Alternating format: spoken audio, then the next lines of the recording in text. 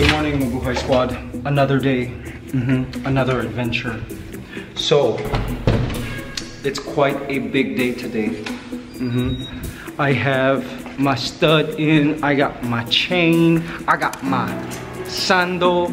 So I'm gonna be spending a lot of time outside Mhm. because today is quite a big day because we are going to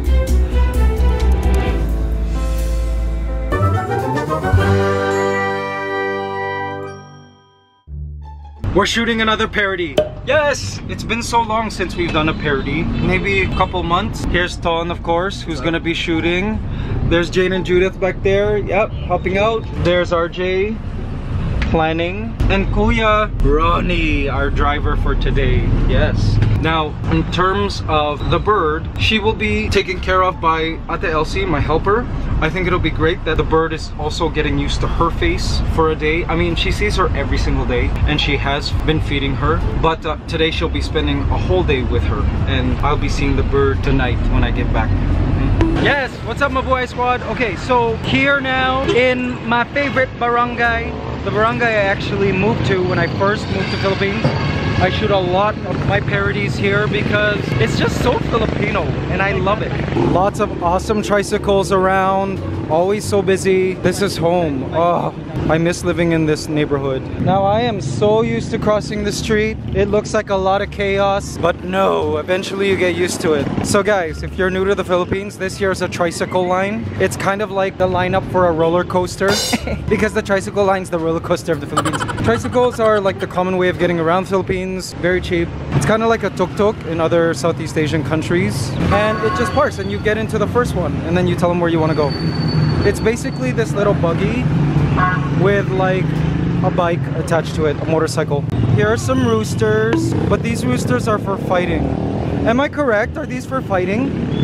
Yeah, they're for fighting, right? So it's really sad, but here in the Philippines, they call it sabong. It's cockfighting. They still do cockfighting here. It's part of the culture, um, and people bet money, but some people just do it for fun. They don't even put blades on the legs, and they the roosters fight. But this here, I think, is a breeding pair. Hey guys, you guys are beautiful. I swear, birds are dinosaurs, guys.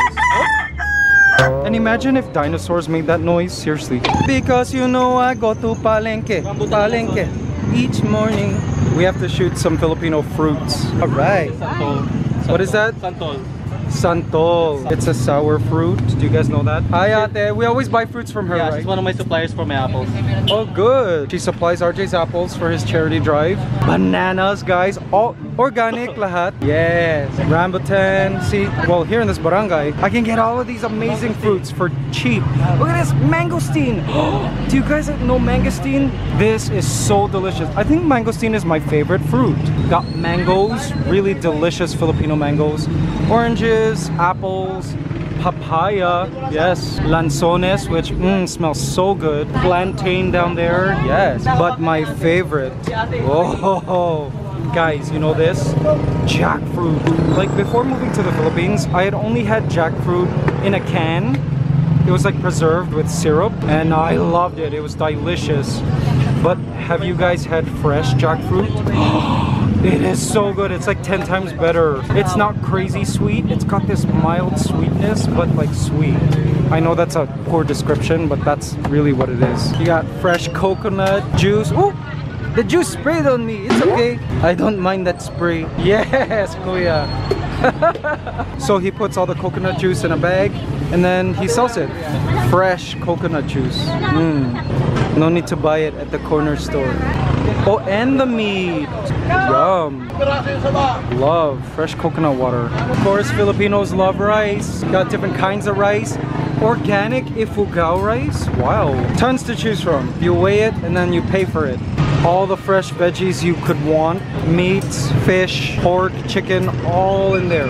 Okay guys, it's breakfast time. This place, it's called Inihaw, which means barbecue in Philippines. I used to eat here breakfast, lunch, and dinner. Seriously, when I first moved to the Philippines here in Manila, I lived in this neighborhood and the food here was just so affordable. OMG, about Asians. This is actually one section, but that was the original section here. Let me take you over. They cook the meats right on the grill, like it's fresh barbecue. Oh, mmm. Yum, yum, yum. See, you can choose from several things here. There's hot dog on a stick, pork barbecue, pig ears, which is tenga, isaw pork, which is like pork intestine, um, atay, which is liver, balunan, which is like gizzard of a chicken. Guys, look at how big that squid is. Huge squid. Wait, let's go inside. You got milkfish, tilapia, just awesome. And it's so delicious. Massive squid. Oh, so good. Look at that. And that smells just delicious. mm. I think I want liempo. Ihawan ni Kuya Speed. This place is Yeah, It's been a long time since we it's been a while, yeah. I love eating here. Yeah, it's cheap, right? And back then there was a gym up there. I used to go to the gym and then eat here, all my protein. And there's an awesome fan up here. Now usually when I have friends or family visiting from Canada or wherever and they want to eat somewhere authentic, I take them here where the locals eat and the food is it's clean, it's delicious. You can have as much as you want because it's affordable, it's cheap.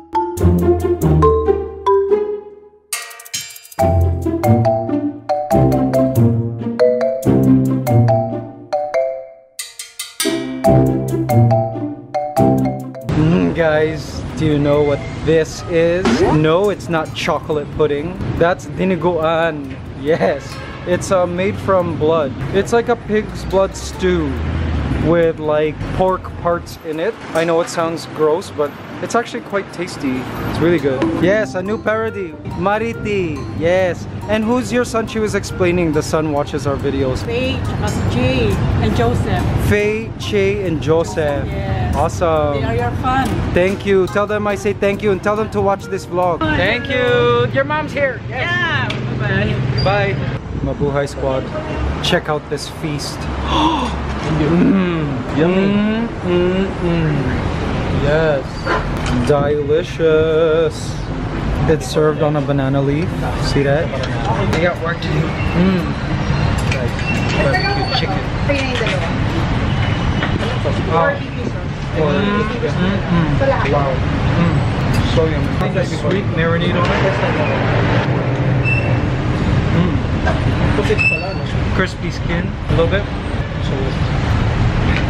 So Filipinos like to dip their stuff in like soy sauce, which is toyo, fish sauce, which is patis, and they squeeze calamansi, which is a citrus fruit, sour, into it, and it's kind of just like extra flavoring.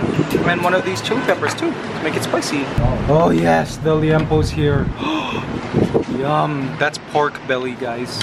So delicious. OMG, this pork belly looks delicious.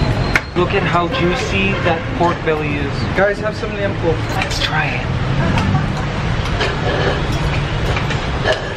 Mm, mm, mm, mm. So good. Pork fat and meat together. Mm. Oh yeah. It's basically roast pork, sweet marinade. So good. Wow. So good.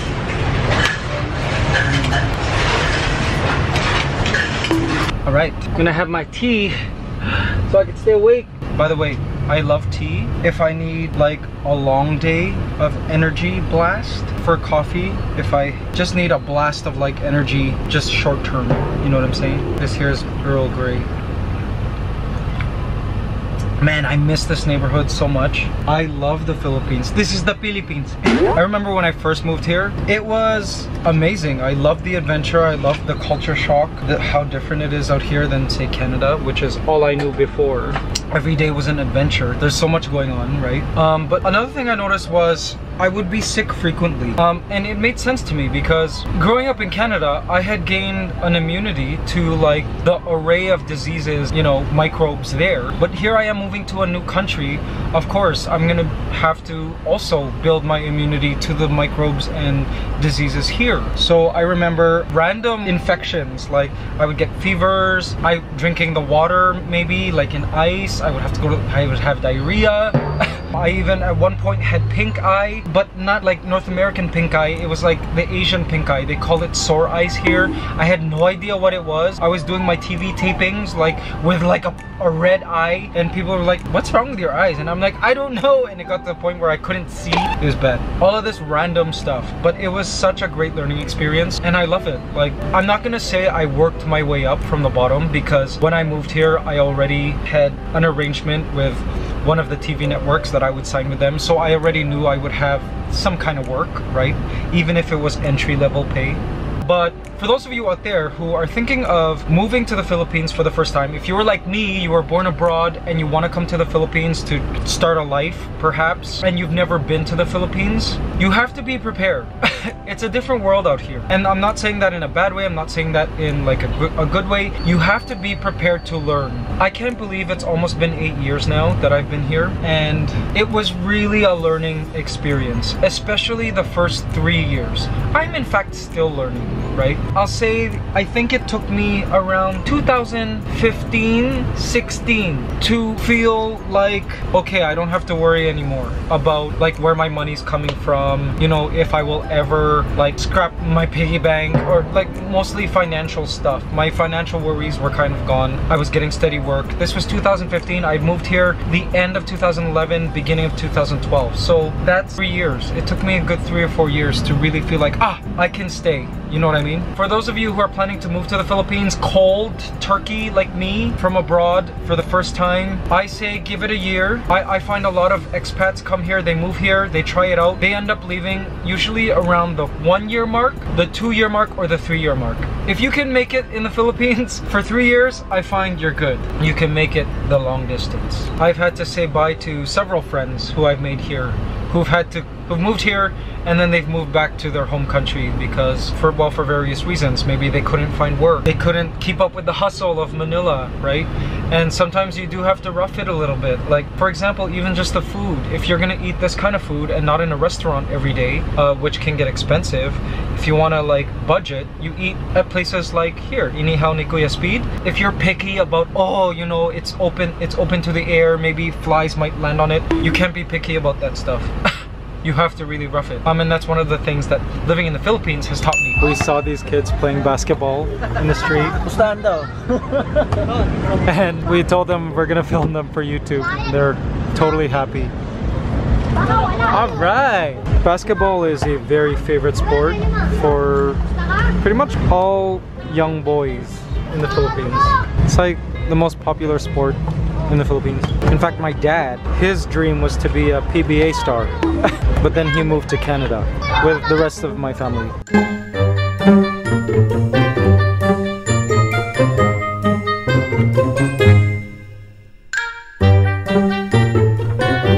Boy Squad, we have friends from Davao. Yes, awesome. You're here to visit the Rizal Monument. Oh, yeah. Awesome, isn't it beautiful? Okay, and because we're Filipino, we're taking pictures. Yes, thank you. Thank you, thank you. So guys, this is the Rizal Monument. Jose Rizal National Monument. Oh, there's a Canadian flag here. Why? My boy squad, do you guys know why there's Canadian flags there? Let me know in the comments. Guys, gonna be riding this. It's called a Kalesa. Yes. What's your name, Kuya? My name is JM. JM. JM will be riding it. Here in the Philippines, we do still use Kalesa, um, especially out in the province, like my mom's province, the city of Tuguegarao, they ride Kalesa, horse and carriage, still. Thank you. We're here in Intramuros, as he said. Yep, it's like old Manila, very traditional, very Spanishy. And we're shooting a scene. Whoop. By the way, love my barong. See this barong? It's been a while since I wear barong. Wear barong again. Okay, let's film. Oh wow, this horse knows how to reverse. Amazing. Thank you, bye-bye. Bye, horsey. Can I pet it? Oh, bye. Oh, his name's Rambo. Bye, Rambo. Bye. Oh, you're so sweet. They make you work so hard. I hope they help you rest as well. And how they keep the poo from falling in the street is the poo falls down into this bag and into that collection down there. Mmm, mm, look at this guys, carinderia. So like outdoor eating, see? Mmm, look at all this delicious Filipino food. Adobong pusit, squid, ginataang manok, chicken stew, mmm, pinakbet, vegetable stew. Mmm, guys, guyabano. You know this? It gets really big, but it's delicious. It's so sweet and tangy. Delicious, soft white fruit inside. Mm. Look at all of this, guys. Mm, it smells so good. Lutong bahay, home Filipino cooking, and it's very affordable, very cheap. OMG, this smells so good. Mmm, love this. Mmm. The food just never ends. Look at all that. Mmm, eggplant omelet, longanisa. Yes. Vanessa. Sarap. Torta. Tortang talong, yes. Hi Kuya. These guys have agreed to be in the video. Wow, look at the tricycles. Oh, is this an e-tricycle? That's an e-tricycle. It runs completely on electric. wow. Yes, just act normal. Don't be tense. Millions of people might see this.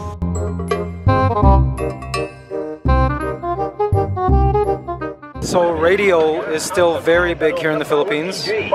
This radio station is one I used to listen to when I first moved to the Philippines. Um, It's all in Filipino, but there are English stations. But the audience that listen to the English station is very different from the audience that listens to the local station, the Filipino language stations. Turon, when I'm in Manila and I'm craving something tasty, I go and find turon to buy. Look at how beautiful Intramuros is. Look at these buildings. Right? Right? The Spanish influence is very apparent in Intramuros.